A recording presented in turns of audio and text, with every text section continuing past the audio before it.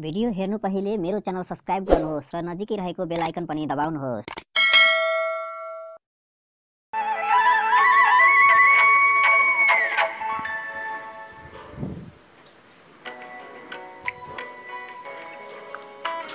अब म फेरि अर्को गजल वाचन गर्दैछु।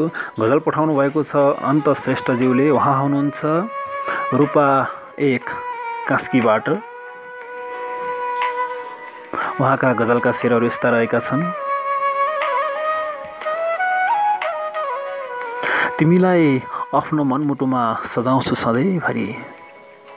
तिमीलाई आफ्नो मनमुटुमा सजाउँछु सधैँभरि। जति बैरी शत्रु लागे पनि आफ्नै बनाउँछु सधैँभरि।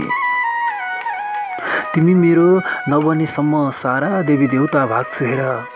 तिमी मेरो नबनेसम्म सारा देवी देउता भाग्छु हेर। मन्दिर गई माग्छु तिमीलाई फुल चढाउँछु सधैँभरि। तिमीलाई आफ्नो मनमुटुमा सजाउँछु सधैँभरि। मेरो साथमा आउनु छिट्टै म बाटो कुरी बसी रहेछु। मेरो साथमा आउनु छिट्टै म बाटो कुरी बसिरहेछु यो काखमा राखेर जाने बुझेको पढाउँछु सधैँभरि। तिमीलाई आफ्नो मनमुटुमा सजाउँछु सधैँभरि। सबैको प्यारो बनेर असल व्यवहार देखाउनु पर्छ सबैको प्यारो बनेर असल व्यवहार देखाउनु पर्छ मायाका सौगात स्वरूप मुटुभरि थमाउँछु सधैँभरि। तिमीलाई आफ्नो मनमुटुमा सजाउँछु सधैँभरि। म गजलको अन्तिम शेर वाचन गर्दैछु। पाएछु भने तिम्रो साथ यो अनन्त। पाएछु भने तिम्रो साथ यो अनन्त सयौँ जुनीसम्म। पाएछु भने तिम्रो साथ यो अनन्त सयौँ जुनीसम्म।